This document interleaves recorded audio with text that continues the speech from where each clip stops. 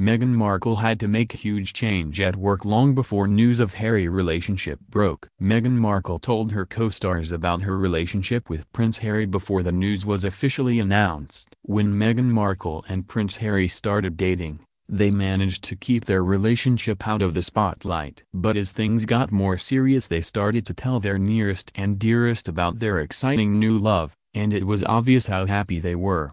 Meghan decided to tell her Suits co-stars about her new man and they were obviously all very excited. However her on-screen dad claims he didn't believe it at first, until he went in one day and spotted a new addition to the set. Speaking to Extra, Wendell Pierce said how proud he was of his friend for the way she is adapting to her new life as the Duchess of Sussex.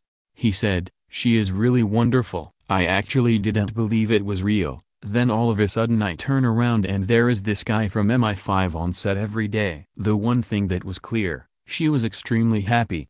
She had a glow. I knew she was in love. With the whirlwind of publicity and the world of being a royal now, the one thing that's constant is the fact that I know she loves him. Last month, Wendell revealed the advice he gave Meghan just before she went public about her relationship with Harry. He told The Telegraph, we had a moment I cherish. I was sitting with Meghan in her wedding dress, as we waited for a setup. We were alone. I said to her, your life is going to change. It's going to be amazing and I'm very happy for you but I want you to know that I'm your friend, and no matter where you are or what's going on, if the fishbowl that you're in ever starts getting to you, you can call me.